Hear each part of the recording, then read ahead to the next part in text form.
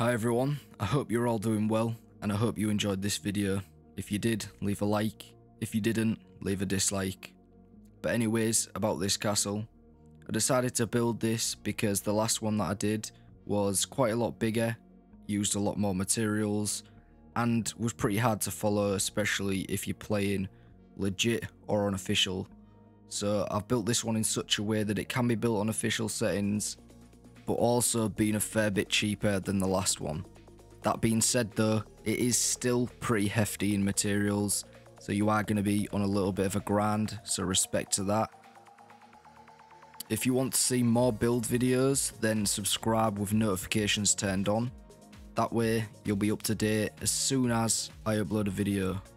As a side note, I have an Ark Builds Facebook group where you can either, you know, ask for help when it comes to builds, or you can post your own builds or videos to do with Ark Builds. So join that, links will be in the description. Also, if you want to follow me on Twitter, you can message me or tweet at me. Thanks for watching, and I'll see you in the next one.